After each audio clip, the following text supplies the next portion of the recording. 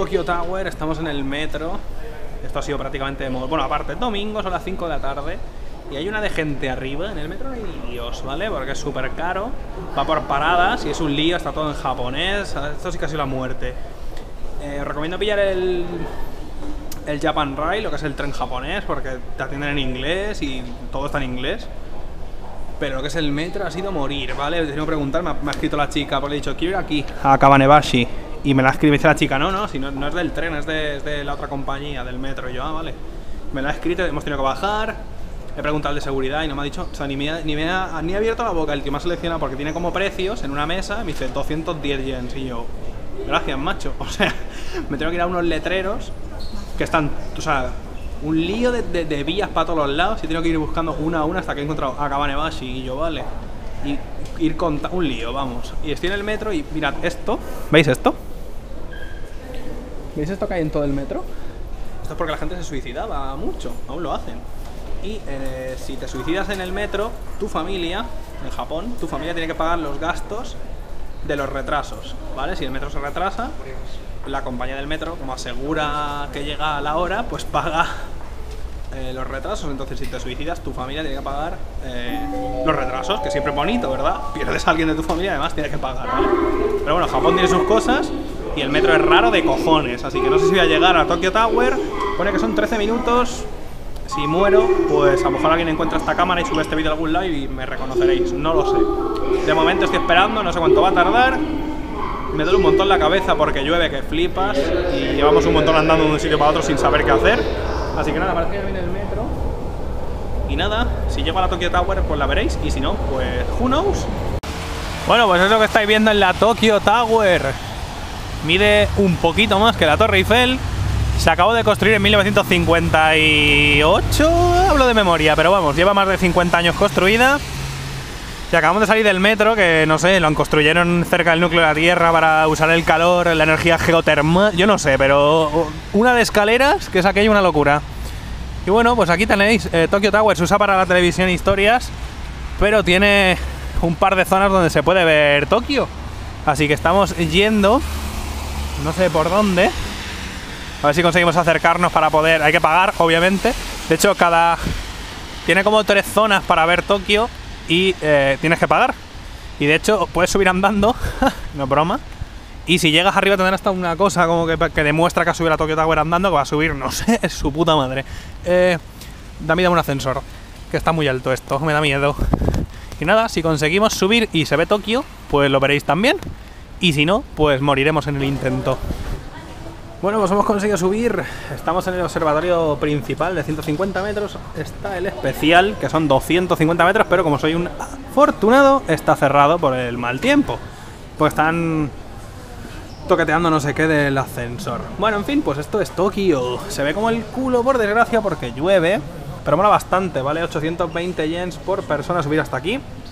Son 150 metros, el otro son 250 metros. Que molaría un montón subir, la verdad, pero bueno se ve Tokio a tope. Y te pone por arriba la distancia a la que están algunas cosas. Por ejemplo, pone el Palacio Imperial, Ki... Kokio, pone 3 kilómetros. Va poniéndote sitios. Mira, Ikebukuro. 8 kilómetros. Madrid. Bueno, eh, son, los japoneses son muy dados a estas cosas. Hay un montón de tiendas de regalo. Oh. Japanese people. Hay un montón de tiendas de regalo y hay como dos mascotas que se parecen mucho a unos penes. Yo les llamo Grande y Prepucio, tienen otros nombres, pero os lo juro, a ver si los puedo enseñar porque son buenísimos. Mira, Shinjuku, ahí donde estamos nosotros, estación de Shinjuku, 6 kilómetros. Para allá son unos 15 minutos en, metro aproximadamente. Después tienes que andar, no hay ni una puñetera señal de, de que aquí esté la Tokyo Tower. Obviamente se ve, pero coño, es un poco lío llegar y después vale una pasta. Y nada, Tokio a tope, ciudad para todos lados. Hay muchísimos rascacielos, madre mía. La verdad es que es bastante espectacular. Una pena, yo qué sé, eh, que estén mojaditos los cristales, pero bueno, mola mucho, mucho, muchísimo. Mola mucho a tope. Mirad, esos son los muñecos que os he dicho. Se llaman Nopon, uno y el otro no sé, son hermanos. Y son obviamente Grande y Prepucio de toda la vida.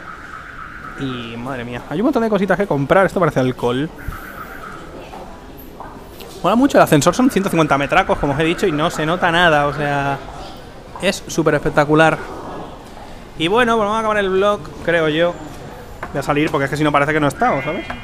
Parece que he traído aquí mi hermano gemelo. Oh, Nani. Y bueno, pues aquí estamos en la Tokyo Tower, 150 metrazos. Y un montón de ciudad por todos lados. Eh, a lo mejor, hombre, mola verlo de noche por las luces y tal.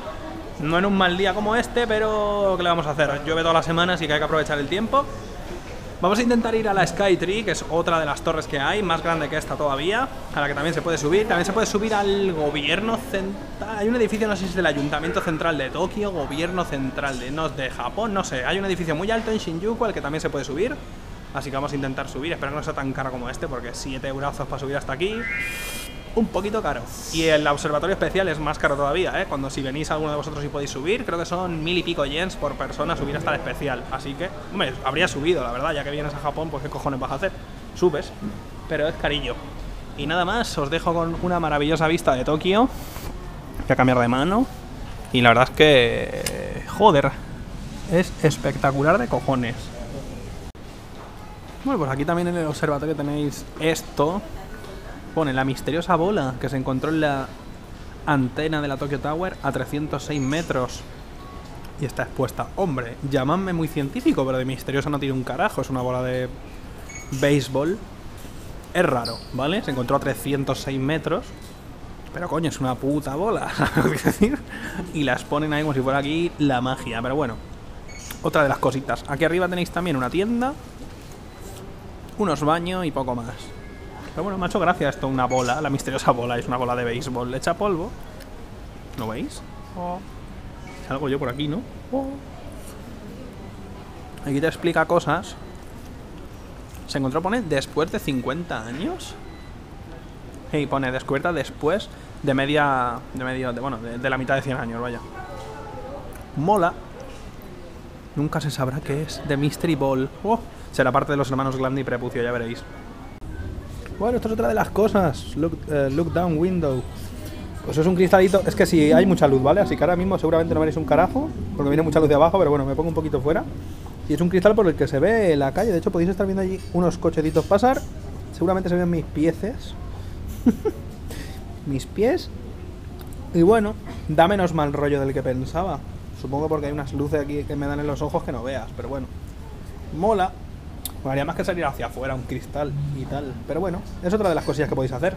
Esto está bajando unas escaleritas desde arriba, desde el observatorio en el que estábamos, y hay aquí un café y los ascensores para bajar.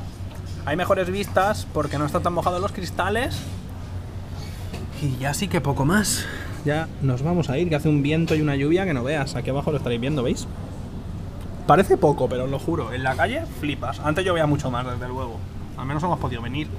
Y nada, vale bastante la pena. No es muy caro y bueno, no hay mucho que hacer, pero coño, estáis viendo unas vistas de una ciudad, de las mayores ciudades que existen, quitando México. México DF creo que es la ciudad más grande en población que hay, Tokio. Así que mola bastante. Tokyo Tower, a ver si podemos ir al Sky Tree. Y ya está, creo que terminamos el vlog aquí.